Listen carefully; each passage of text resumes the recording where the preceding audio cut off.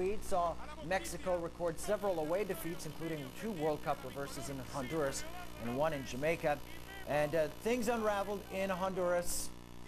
Carlos Costly breaks away and scores past Guillermo Ochoa, this one in the 17th. And Honduras took it to Mexico 2-0. Carlos Pavon breaks free, chests it, slams it in.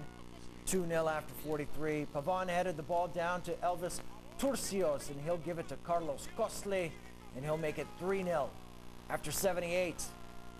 Mexico pulled one back. Carlos Vela, and you'll see on the playback here, he'll whiff on the strike, but Mexico was awarded a PK anyway from the spot. Nery Castillo zips it past Noel Valladares, sixth national team goal. This one after 83-1. But Carlos Salcido was sent off in the 88th, a little trip on Pavon. The loss, though, sealing the fate of Mexico coach Sven Eriksson, 3-1 the final.